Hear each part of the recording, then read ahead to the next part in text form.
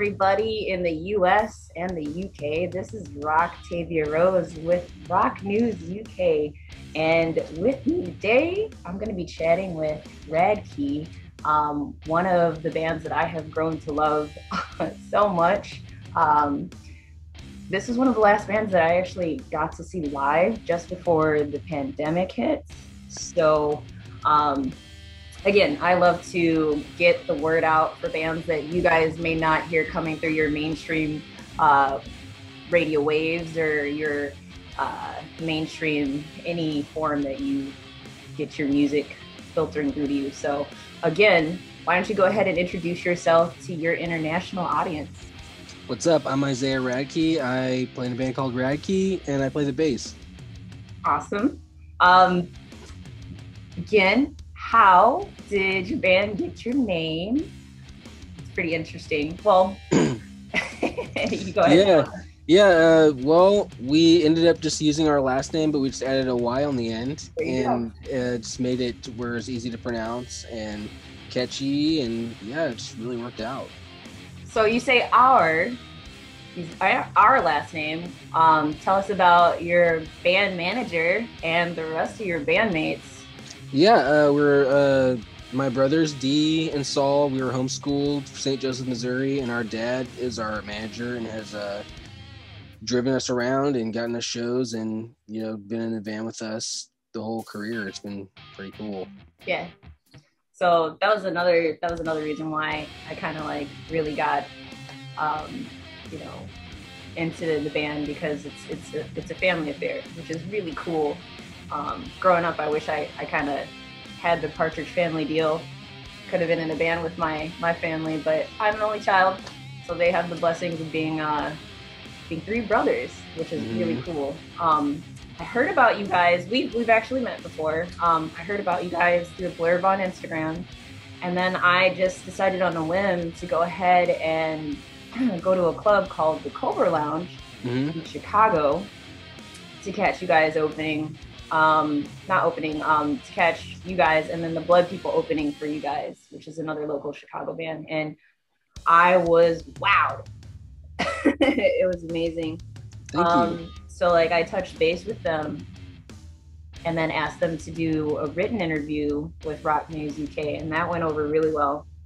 Um, and ever since then, uh, found out some interesting stuff in that interview. Tell us how everything came to be with um, how your fans are involved with all the projects that you do. Yeah, well, ever since we ended up getting dropped from Sony a little while back, we ended up having music that we wanted to put out, and we ended up just getting to do a physical release of our No Strange Cats through Kickstarter, which was great because it was just a great way to get the music out to the fans. And what we loved about it was that you they heard all the songs. You know, like it was on Spotify. We had done it digitally, so it wasn't like we were, you know, like funding the recording of a record. So that was really great. And same with this new one we did Green Room. We recorded it all and then paid for all the distribution, you know, all the vinyl and stuff with the Kickstarter and just pre-orders, you know, because our fans want the music, and if we can just get them, you know, to pre-order it, you know, then they can get the music straight from us and the, you know, recorded the way they would like to hear it, which is just us making all the decisions, you know. So and it's it's just cool that people are willing to put their money behind that to for for a band like us to write the kind of music that we, we actually want to write and actually get it out there which is amazing. A band of the people, by the people, for the people. So um, that's another thing. When I was out at the Cobra Lounge and I heard Radkey for the very first time, I just came there to kind of like, I wanted to make sure to get the word out about them. I wanted to record things, and you know, I was going to ask them a couple questions after the fact. But I put my work down and I got into it. That that is something really great about this band live. You guys have to go see them out on the road because there is there really truly is a community of fans with this band, and they get you going. You get moshing, you get jumping around. Everybody knows the words. It's such a good time. Oh my goodness. Um, uh, that the vinyl green room. So the Kickstarter for their vinyl. Um, I uh, I'll have you tell us a little bit more if you can elaborate about uh, your album. But I love when vinyl has colorways. Yeah, yeah. I'm a sucker for that. So, like, tell, tell us a little bit. Can you go into a little bit more detail? Is there anything that you could tell us a little bit more about the album?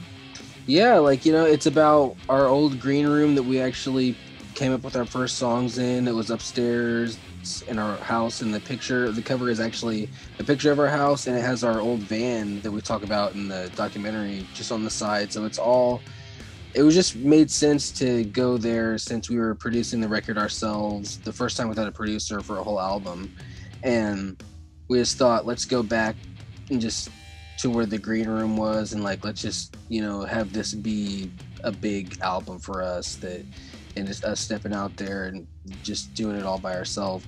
And yeah it's it's really really close to us and it's cool to have the whole story out there with the documentary and then the album and the you know a visual. You can see the house and it's pretty cool. Yeah. And it, it's it is actually green. Yeah yeah yeah. Yeah yeah. The vinyl's green. Yeah and it looks really cool. And uh uh, I think we'll end up doing some more, some more green vinyl. I think we'll do probably end up doing one more green run. That'd be awesome. Um, and then I know if you guys are or have been researching the band, you'll see a lot of kitty cats popping up. a lot of cat logos and cat designs, and um, I am like a secret underground cat fanatic myself too. Um, I love big cats, but mostly my obsession right now is um, house panthers. Oh I yeah. A, I hope to have a black cat in my home soon. Um, that's uh, that's on the docket. But um, you guys are cat daddies, mm-hmm. uh, so you have some kitties. Um, can you tell us a little bit about how the your cats got so involved into like your your graphics and everything that you do? And their names, yeah. plus their names too. Yeah, we got our tabby cat Ross, our black cat Joel, who does look like a panther, which is pretty cool. Yeah. yeah, yeah, yeah. And uh, Richie and Lee. And then we've got the cats at our other place um, that I'm at, at uh, Pepperoni Sue, which is from King of the Hill, and Joe and Lulu. So if you guys are wondering, that's that that would probably be the reason why you see so many cats and you see that we're we're all pretty we're pretty strange cats up there in our fan group for for Radkey. So it all makes sense. It all it all melts together really well. Um, and then uh, so Radkey has a pretty impressive repertoire. You guys have worked with and opened for some wonderful acts, some musicians after my own heart, actually. Um, can you tell us about a couple of the names that you guys have worked with and, and opened for? yeah, like it was amazing when we got to go play shows with Jack White. Like that was a really big thing for us, and it really made us feel. That was one of the first times we ever really felt like like holy crap, like we're like a real rock band, you know. we've got like yeah, yeah, and then like yeah. and this Foo Fighters tour is gonna be really cool. Like that's another one that's like the same kind of thing where we're like, that just feels amazing to to be on the level to be able to play with those like legends and yeah, like we've, we've done some pretty some pretty fun tours. Like, yeah, were were you guys like associated with South by Southwest? At one point too. Mm-hmm. Yeah, like way back in the day, we had done some South by Southwest, and that's actually how we ended up getting the connections to go to England and do yeah. stuff there. Yep. So, um, if you don't know, Radkey has just posted their tour. Um, they have some impressive things on the lineup. Uh, guys, if you have been part of the live music crash of 2021, where everything announced all at once, um, you may just already have some tickets to be able to catch Radkey Live. Um, some of the things they're doing involve Riot Fest. Mm-hmm. I believe it is the Friday date that you will be on the Riot, Riot Fest stages here in Chicago. Um, are you also going to be at Lollapalooza? Yeah. How did you? How? What? yeah, yeah. yeah, cool. Um, yeah, Foo Fighters are playing it, so uh, hooked us up with a spot, rocking Lollapalooza.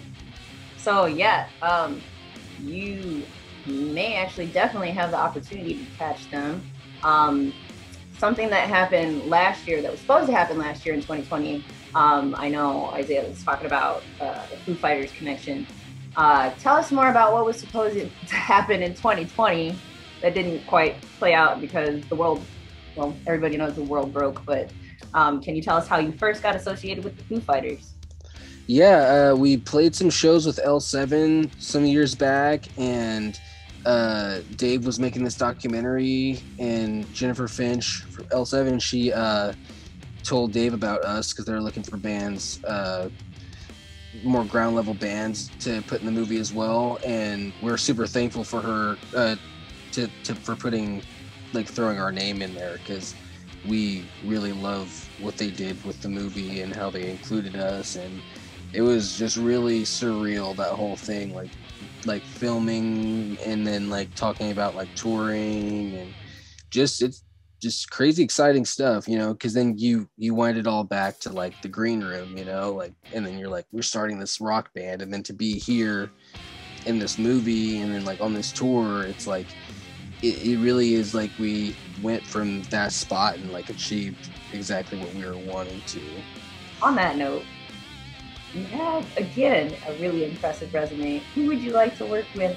next? I kind of want to see if the answers change from like our initial interview and these last section of questions. But um, yeah, tell us who you really like to either open for or collaborate with next. Um, if anybody is in that that dream list. It would be amazing to like be able to play shows with Weezer someday because they are, you know, they're a huge inspiration to us, and and uh, they've got like a new rock record out, and maybe someday we'll get to play some shows with them. That would be great. Like that would be really cool because like you know we've played with so many bands like Jack White. We're gonna be playing with Foo Fighters, like Offspring, uh, Rise Local Against, H too. Local yeah, H, Rise Against. which- Local- You guys love the. Chicago guys, don't you? yeah, yeah, yeah, yeah, yeah. We were finally getting to do the local H tour. We've wanted to. We've talked about doing it for so many years at this point. So it's cool to finally. So we're gonna get to do two rock tours with like our favorite bands. Yes. So that's gonna be crazy. And and so yeah, when I think about it, it's like you know Weezer's a band we haven't played with yet, and that would be really cool. Yeah. So I I will be seeing you this year. I don't know if I'm going to be able to make any of the Foo Fighters shows because it requires some travel for me. But I'm gonna see maybe if luckily I can see you guys open for the Foo Fighters. That would be great. But I know that I'll see you guys with Local H because that is my birthday. Amazing. and it's the last stop so far, unless you guys, if you add any other dates, but that's the last stop on the tour. Hopefully, y'all won't be too burnt out by then. but it's at one of my favorite venues too. Um, so I'm really, really excited about this show. I'm stoked. Really, good time. Um, and then uh, what else was I gonna ask you? Um, yeah, so on the kind of note of where you're headed, you already have like some dream tours and dream collaborations um, in the works. Uh, we were talking a lot about what you guys wanted to do when the world opened back up. Um, we have the record coming out. Um, I don't know if there's any better of a place the band can be right now, but um, is there anything that if you had like a wish list, anything that you would kind of want to throw in there, kind of to put out into the world, put out into the universe? Well, I mean, we're gonna we're working on new music. and we're excited to get the ball rolling on new stuff and just like new sounds, just making, having fun, experimenting, and yeah, like that's pretty much what that, and then playing shows and playing some of Green Room live, like that's all gonna be pretty much what's going on in our brains. So, like, do you think you'll stay a Midwest band, or, you know, once you blow up and become like super huge after this tour? Do you well, think you would move to like LA or what would? I don't think so. Uh, we we really love Missouri. Like just the way it looks and everything. Like it would be real hard to imagine leaving. Like, uh, it, we, we, it would have to be crazy. I think for us to like like like pretty crazy for us to leave Missouri. like that's almost like a fantasy, you know. Like that would be like wow, okay, but like um, it's just so legit here yeah. But like that's that's something I've always wondered. Like with musicians, a lot of the times there are a lot of musicians who think that oh, well, I have to, you know, to make the big time, I have to move to LA. That's what has to happen. But mm-hmm. I mean, there are a lot of bands who like kind of stay. They don't. You don't necessarily have to do that. You can stay wherever your roots are. Find ways to create. Yeah, with like, the internet and stuff. Yeah. Totally. Um, if you tour a lot, like I mean, you can play a lot of shows in California and be there long enough, like without living there. I think. I mean, at least these days. Yeah. It's kind of like there's a lot of ways to think outside of the box. There's yeah. a lot of ways to be creative with like how you're getting stuff out there and and where where your roots are. Yeah, yeah. Musicians are pretty free these days. Like being like an actor and stuff, I understand having to be in like New York or California, but now like yeah, you can do you can be from Missouri. Like I mean, it wasn't easy coming out of St. Joe, but like I mean, I feel like it's got to be a little easier now. Yeah, hundred percent. So like, um, I know you said you were working on some new new music. Like, do you have any? I don't, I don't know if you can tell us too much, but like, do you have any kind of like sound profiles or anything interesting that you've been working with, or anything that you can tell us about? Like, what's your favorite?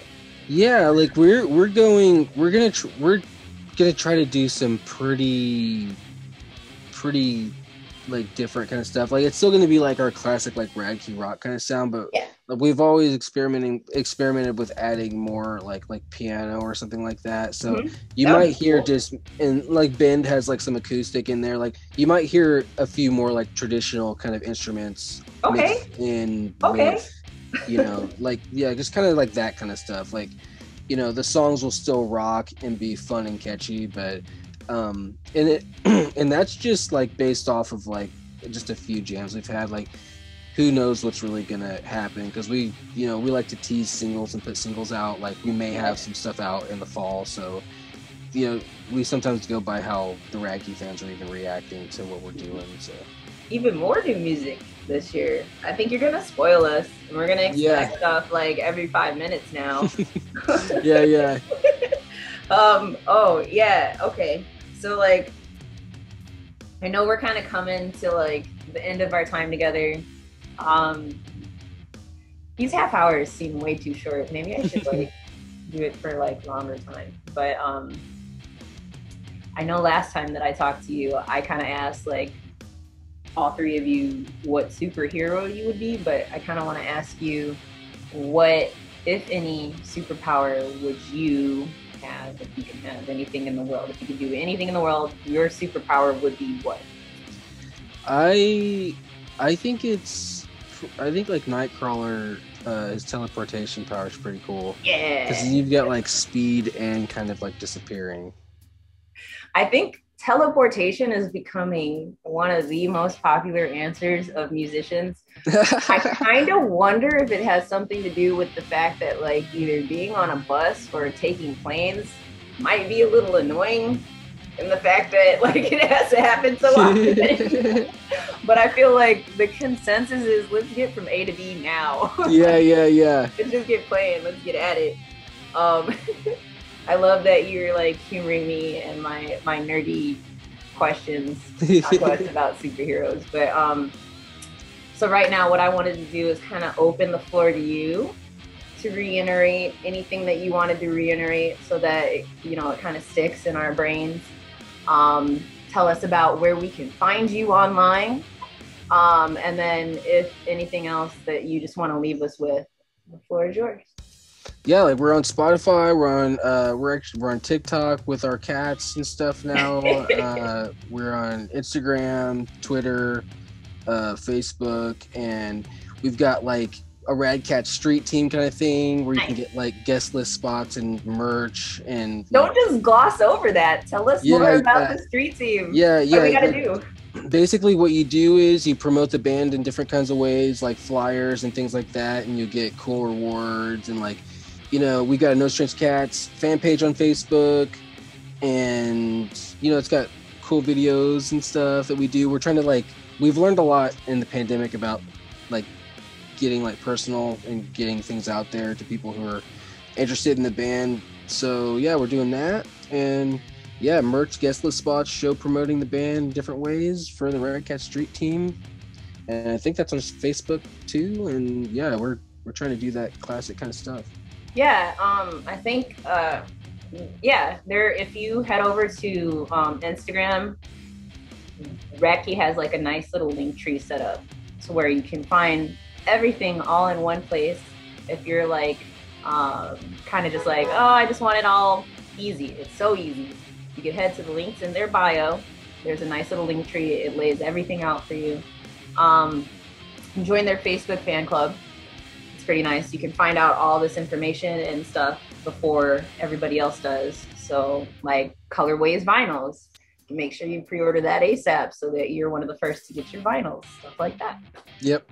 Um, yeah. So again, I just wanted to thank you so much for taking the time out to touch base back with Rock News UK again and myself, Octavia Rose. Um, we appreciate you uh, and can't wait to see you out there on the road. And Yeah, thanks for having me. For opening the Foo Fighters. Thank you. Woo! Yeah. and all you strange cats out there, don't forget to grab your tickets as soon as possible. Stream Radkey's Rock everywhere you can on all your streamable music sources. Check them out on YouTube. Check them out on Facebook. And again, this is Roctavia Rose signing off. Thanks.